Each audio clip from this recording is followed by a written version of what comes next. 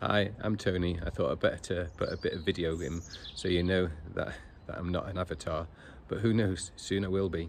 And with AI, things are going to change a lot. We need to be at the forefront, and I hope we can help one another. So, this is actually the website for the Dental Health Service, and you can see I'm just playing around with it. And I often get a little bit lost, but these are my reference points, and there's a lot of change that's going on. But on this particular section, that was where the um, website and the app were. So the workings out were for there. And then this part here is for another website. And it, you can see it got lost. In fact, I think I still am on the same website. Um, but this is how I build stuff. And then you can see down here is, well, this is the information that I need in order to follow some of the principles in a book I'll show you in a minute. But I need feedback, and I need feedback from the public, I need feedback from dentists, hygienists, and that way we can develop a, a dental health service. Um, and that's how business works.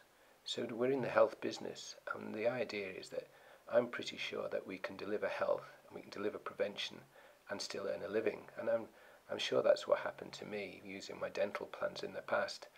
And I just can't believe it's taken us so long to, to sort ourselves out. So anyway, with that, that's me getting lost. I've gone back to the same website. Um, but that's it's just to demonstrate that I'm not just making this up.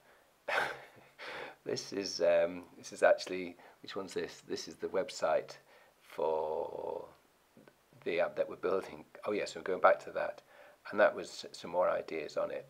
And this is I just need help. I mean, I need, I'm I can't do everything, and I thought I'd show the references here.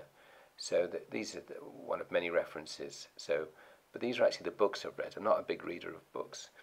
But this is what I was going to say. So, so on the right, I've put the websites I'm building. The first one is for dentists, well, for DCPs, and the second one is what I'm doing for the public. And I've got the dentalhealthservice.co.uk and .org websites available to put them on.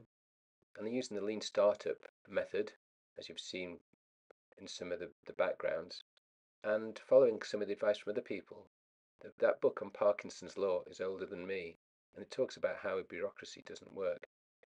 Faster Cures is by using young people and getting their ideas before they get corrupted by a hierarchy. And the bottom white book is Steve Jobs' book. And on page 368, that's where we need to look to build a health service. So I mainly listen to audiobooks, and this is a more recent one, and it's about the history of a bottom up business. And that's a model we need to follow getting the advice and experience from everyone within the dental team and not a top down approach that's been failing for years. We have to have a different approach, and I always refer to this. I think this is far more productive, and I think we can do it.